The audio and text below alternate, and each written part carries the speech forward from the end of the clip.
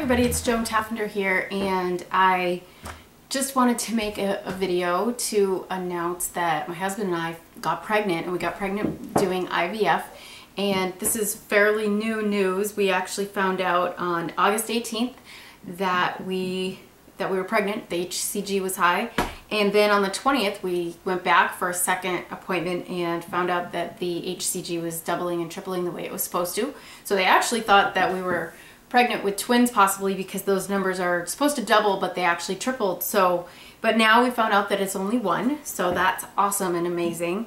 And I have been putting off making video for a long time and um, just following the whole story. I did I have blogged so I've put a lot of um, information starting last year uh, January around January 2014 on the whole journey to get pregnant.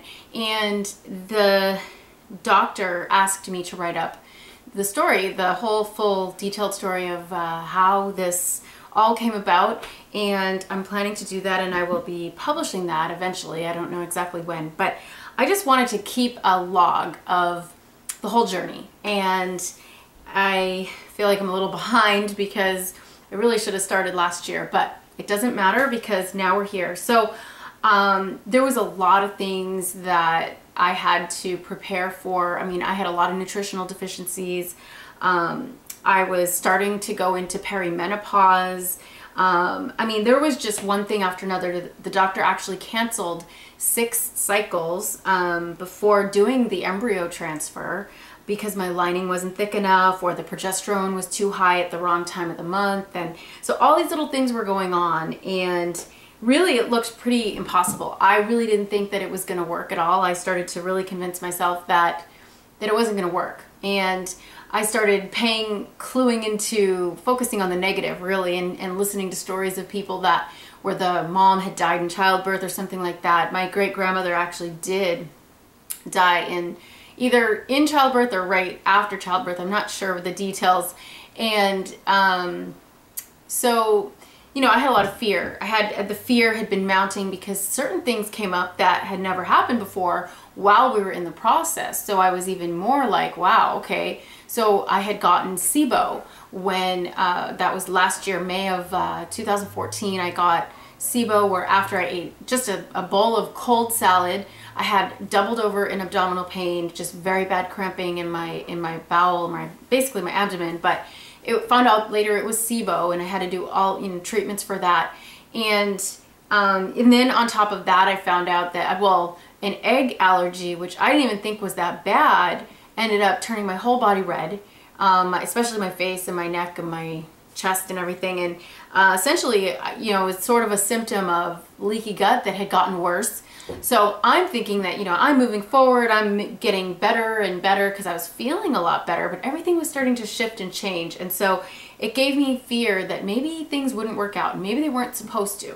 So anyway, I am super excited and super happy. My husband was like shedding a tear on the day that we found out and I was like more in shock. I was just, I couldn't believe that this actually worked and um, I had, you know, you, you sort of don't want to set yourself up for a failure or because the odds are so incredibly low, especially after age 43 to have your own embryo, I mean your own egg and sperm together because many times that process you have to use someone else's sperm or someone else's egg or something, which is awesome for people that want to do that.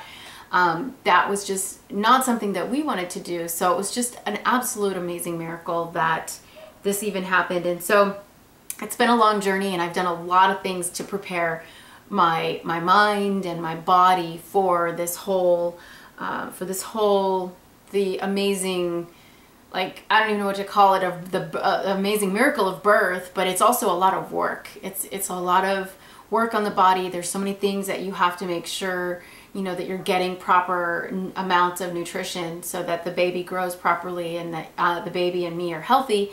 So um, I am going to be writing that soon. And I do have some resources already written up for fertility and also for um, leaky gut and SIBO and um, candida which is something I had before and I had to overcome all those things to be able to get pregnant and have a healthy baby. So that will be I will be updating and reporting on the healthiness of this pregnancy and how it is all going. Um, it's so far, it's already, uh, we're about six weeks now and I actually saw the heartbeat today. My husband didn't get to see it because I went to my OBGYN who actually helped me to figure out a ton of things with my thyroid, which was one of the first things that I started to correct in 2013 to help with this whole process. And then because my thyroid was, I had hypothyroid and she discovered that. And she also helped me to figure out the MTHFR gene which I have and and what I need to do what kind of vitamins and things to take so that you can um, sort of almost like override. You're not really overriding because you, your genes are your genes but you don't have to inherit I don't even actually know how to explain it very well but I was reading in the biology of belief um, by Bruce Lipton that the, what he describes, and he talks about it when you take methylated vitamins, B vitamins, uh, methylated folate, how that sort of overrides the genetic what's supposed to happen, which is really mind-boggling actually. Um, it bypasses a whole process in your body, so your body doesn't have to convert everything because you don't, you're kind of missing an enzyme when you have that. So as you can hear, there's a lot of details and there's a lot of things that happen and it's, it's so multi-layered and as I said, you can go read on the blog. You can go to my website at uh, totalhealthempowerment.com and you can click on blog and you can read back on many things. I haven't obviously started making videos until now. Uh, I did make a few videos last year, um, but things have changed and, you know, just been they, they, it's just a journey, really. It's a journey, and things are always changing. Your body's always changing. Um, things are changing, so what you eat and how you treat things, and I shouldn't say treat because there's no cure, treat, or mitigate any disease. But um, anyway, I look forward to sharing this journey with anyone who's interested in listening and wants help. Um, I have a program that is almost finished. It's called Digestion Bootcamp, and basically it's a, conglomerate really of all of the things that I've learned along the way and digestion being the root, being the root of what was wrong with me and really the root of health because getting the proper nutrients is like the key, the most important thing um, because it, it's connected to everything. It's connected to every disease state. It's connected to um, a, so many different diseases.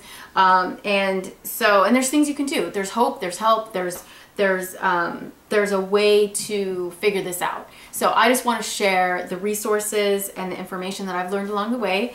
And if it can help you, then that would be incredible. It would bless my life so much to see this information help other people. So uh, I look forward to sharing this as we move along. So thanks for listening. And again, it's totalhealthempowerment.com and you can, uh, there's a lot of information on there now. Um, but I will be continuously updated as I get um, different things going. There's products that I've used and every, you know, a lot of things you can find right on there. So I will talk to you later.